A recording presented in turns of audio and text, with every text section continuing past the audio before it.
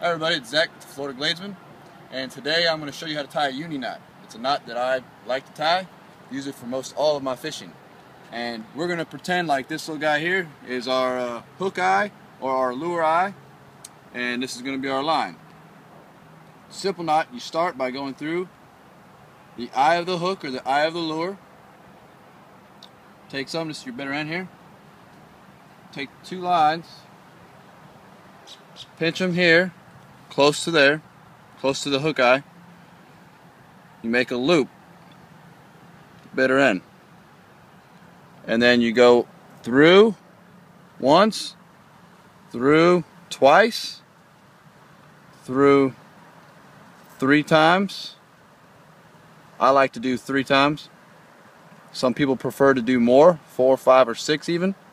I'll do three. Then you take it and you start pulling here, slide, and then you'll start to tighten down and you can leave a loop in it which will give your lure or your, your live bait a little more action. So you start to pull, get it to right where about where you want it, and then tighten it down. And that's how you tie a uni. If you have any more questions, if you'd like to see it again or a little more in depth, write a comment, let us know. You guys have a good day. This is Florida Gladesmen. Let's get it.